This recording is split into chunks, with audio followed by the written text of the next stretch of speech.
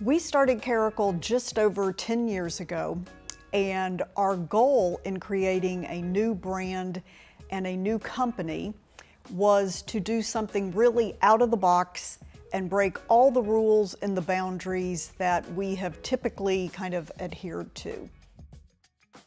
One of the things we did was to focus on unique finishes, unique materials, and finishes that, again, kind of just created a whole new personality out there in the furniture world.